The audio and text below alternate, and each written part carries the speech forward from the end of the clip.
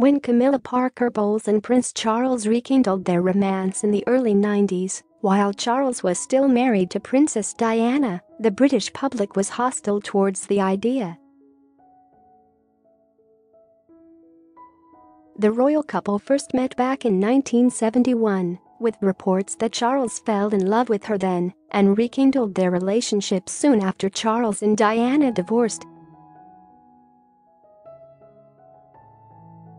In an uncovered magazine article, the Duchess of Cornwall discussed the scrutiny she faced after getting back together with the Prince of Wales. How Princess Diana called Camilla Rottweiler in shock rant, how Prince William was upset after meeting with Camilla in the article, Camilla spoke about her tumultuous past with the public concerning her relationship with Prince Charles, particularly after reports emerged saying the couple continued their relationship while he was married to the late Diana. She candidly told the Mail on Sunday's You magazine in 2017 that she wouldn't wish the public scrutiny that she has faced on her worst enemy.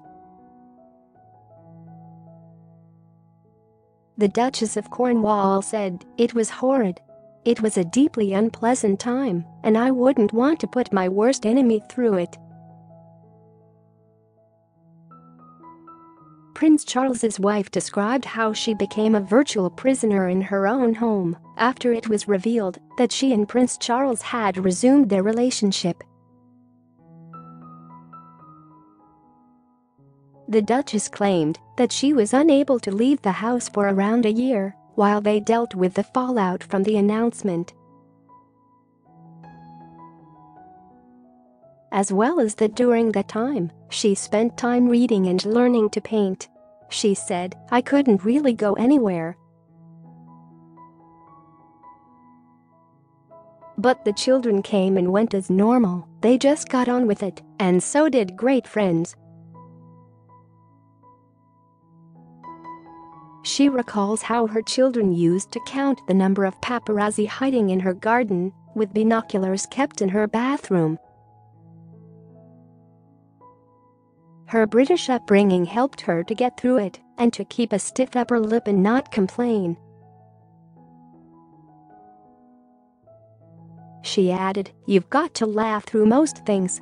You do have to swallow and pinch yourself very hard to not laugh. There are situations where it's very difficult not to lose it completely, especially if something goes terribly wrong and everybody sits there for a split second.